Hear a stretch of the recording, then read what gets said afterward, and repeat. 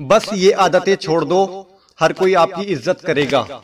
Number एक, लोगों की गलतियों से सीखो और वही गलती दोहराने से बचे। नंबर दो, जल्दी रिप्लाई, सबको मत दो। नंबर तीन, अपने कपड़ों से ज़्यादा अपने व्यवहार पर ध्यान दो। लोग आपके कपड़े भूल जाएँगे, लेकिन आपके व्यवहार को नहीं भूल पाएँगे। नंबर चार, झूठ बोलना छोड़ दो। नंबर पाँच, अपनी बेइज्जती मत सहो। नंबर छः हमेशा सबको हाँ मत बोलो। नंबर सात हमेशा जल्दी उपलब्ध मत रहो ज़्यादा से ज़्यादा व्यस्त रहो। नंबर आठ महत्वपूर्ण सलाह दोस्त कम बनाओ पर अच्छे बनाओ क्वालिटी ढूंढो क्वांटिटी नहीं। नंबर नौ तुलना करना ही है तो खुद के बीते हुए कल से अपने आज को करे।